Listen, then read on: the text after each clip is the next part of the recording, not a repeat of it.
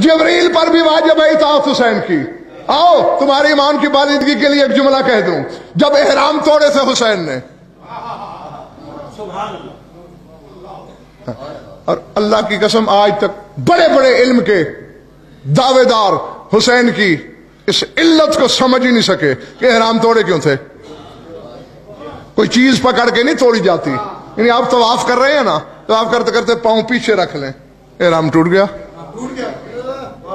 बस यही करना था। आगे बढ़ता हुआ कदम पीछे रखा हुसैन ने। जी, बजाहिर तो एक शय नज़र आती है दुनिया को, जब तहकीक की मैंने। पता है हकीकत क्या सामने आई? तीन गिरोह भेजे थे यजीद ने। एक के जिम्मे था, तुम तलवारें निकाल के हुसैन से कहना, हज नहीं पढ़ना। क्योंकि हुसैन के साथ अब्बास होगा, हाशमी जवान होंगे, हुसैन हज पढ़ेगा। हुसैन जिद करेगा, तुम हुसैन पे टूट पड़ना, तुम हुसैन को मार देना। दूसरे गिरोह को उनके बाद अलहदगी में समझा, तुम जल्दी से हमला करके इन मारने वालों को मार देना। ताकि पता ही ना चल सके कि हुसैन के कातिल कौन थे।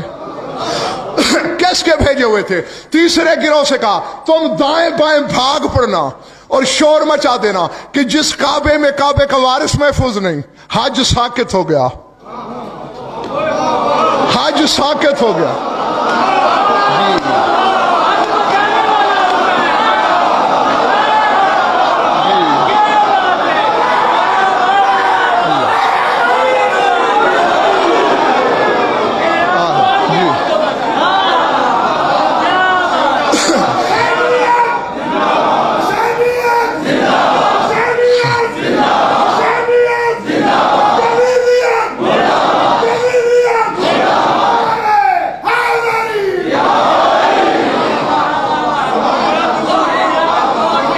समझ में आए बात दोस्तों या नहीं?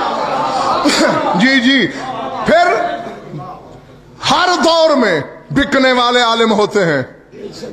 यजीद ने खरीद रखे थे कि मैं उनसे फतवे लेके शाया करवा दूँगा कि कुछ अरसे के लिए हज साकित है।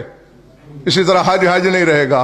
कितनी बड़ी गहरी साजिश थी यजीद की, जो हुसैन ने एक कदम पीछे रख के नाकाम कर दी